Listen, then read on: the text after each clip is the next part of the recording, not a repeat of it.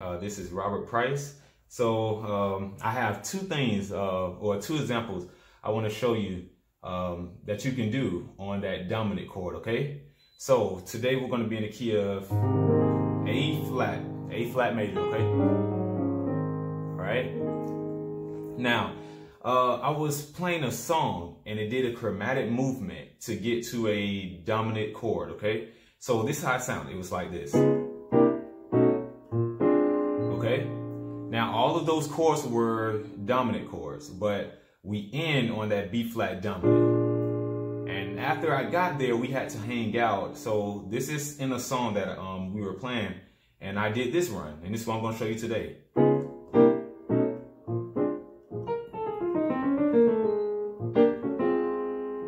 Okay, so I'm going to show you that run. And that's pretty simple but um, it still sounds pretty good uh, to me at least. Okay, so I thought it'd be pretty cool to share it. Uh, so the the way I got to that um, was since we're on that B flat dominant, right? Uh, I played a, a bebop dominant scale. Okay, that's essentially what I did. So the way you uh you know get to that point is you think about the B flat major scale. Okay, just a regular major scale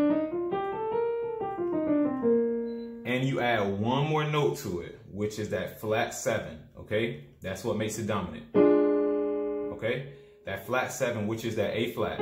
So now it's gonna sound like this.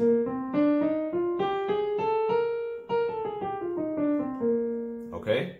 So that's why in the run, uh, we saw A flat. So here we go, I'm just gonna show you the notes. So in the left hand, you can play uh, um, B flat and F, okay? Okay? Or you can play A flat with it. Okay?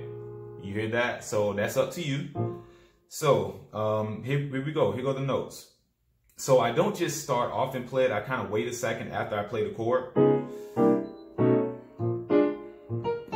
You hear? So here we go. Um, B flat. Then you walk it down chromatically to the A then A flat. So just those three so far. Then you go down the scale, you go to F, okay? And you keep going down to E flat. Now after E flat, you're gonna do this, okay? A lot of chromatic notes, okay? So after E flat, you play C, C sharp, and then D, okay? And you finish the run off with A flat, A, and A flat, okay? So, uh, pretty straightforward, simple run. Okay? After you practice it and get it under your fingers, it, it get pretty, pretty simple. So, okay? And um, I finish it out with this. Now, um, in most settings, you, you can you're probably going to hear that. You're probably going to hear that, whether it's church, jazz. Uh, I mean, I've even heard in like neo soul or like a lot of soulful music. You know, you can do that over your dominant chord. Okay, so for B flat, I'm gonna uh, show you what you can play. So you have B flat, D, and G. Okay. That's the first one, and then you just walk it down chromatically. So A, these are minor chords. Just you just using minor chords. All right, this is A, C sharp, and F sharp. And then the last one is A, uh, A flat, C, and F. Okay? I apologize if I'm going too fast. Uh, so here we go. This is, you may have to rewind it. So here we go with the run and the chords.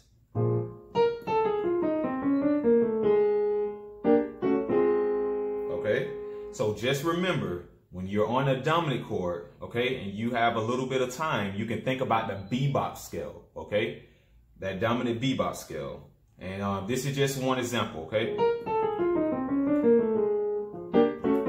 Okay, um, of course, we could do three, four runs and stuff like that, but I do want you to at least practice that, okay? And then you could transpose it to um, other keys, okay? All right, so that's the first one.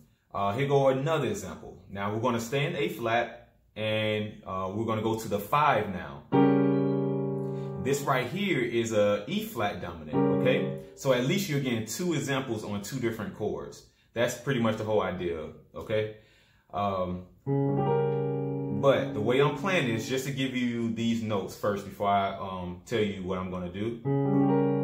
This right here is, uh, I have the E flat tritone in my left hand, C sharp, and then G. And then in my right hand, I have C sharp, G, and B flat, okay? And I just resolved it to E flat. So I'm just thinking about a five, one, okay? So when I show you this next, um, you know, this next progression, it's just gonna be five, one. That's how I'm thinking about it, okay? All right? Now, uh, this is what you can do. You can substitute the uh, um, a diminished chord for a dominant chord. So instead of doing this, you can do this. Okay? And that just, yeah, C sharp diminished. So you have C sharp, E, G, and B flat. Okay? Now, I know some of you probably have already used this before. Some of you may have not. So that'd be a good way to practice it but also do every inversion, okay? You know, just so you can get used to that. But I do want to extend it a little bit. Uh, a lot of you can do this. Okay, that's one way. So this is actually not what I was going to show you. I, the the chord is what I was going to show you, but I want to show you a scale that you can use. Okay, but um, this just kind of came to my mind, so I'll just you know share it with you. So this is another way you can play it. You can do C sharp, E, and G, but instead of playing B flat, you can do C. Okay? All right? Um, all right, here go another way. You can do this. So um, these ideas are just kind of coming to me. This is the stuff that I do um, when I'm in E flat on the five. Instead of just playing a regular dominant chord, I take that diminished chord and I just, I don't know, I just play around with it. Okay? Okay? And um, I play in church, so, um, you know, if I have strings, or honestly, without strings, I can, you know, do this um, on a five, then go to the one. You know? So, what I'm doing um, in my left hand, I start on C, and then I walk up to C sharp or D flat, and then E flat. Now, once I get to that E flat, I do that to bring that tension, okay? Uh, you can do this in, you know, different situations. You just got to play it by ear, okay? So you have E, G, B flat, and you stretch to that E flat, okay? Okay? And then C sharp, and then instead of doing this, you have options now.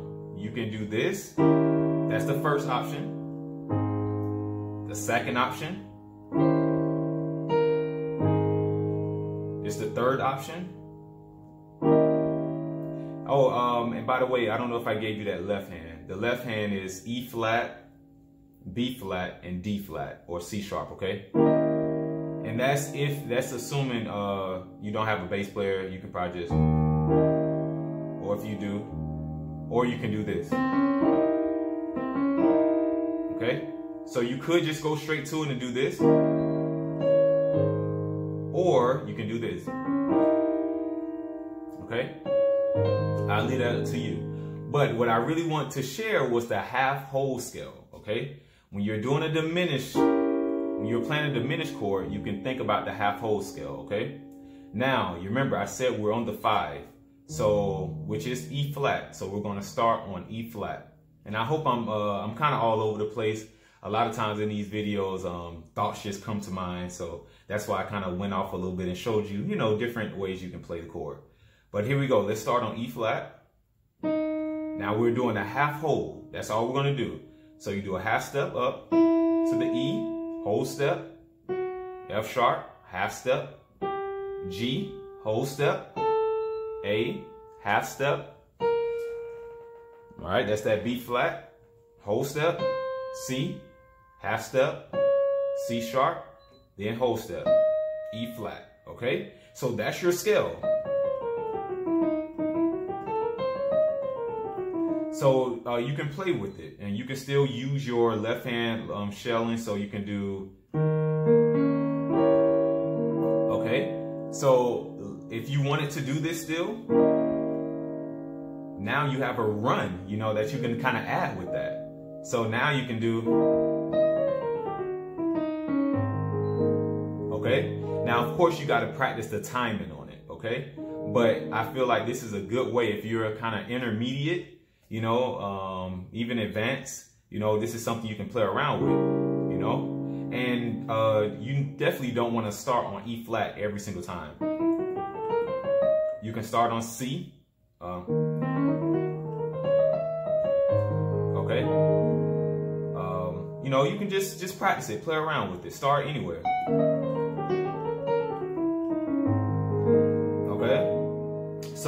I just want to give you that, that tool pretty much, okay? So really practice that.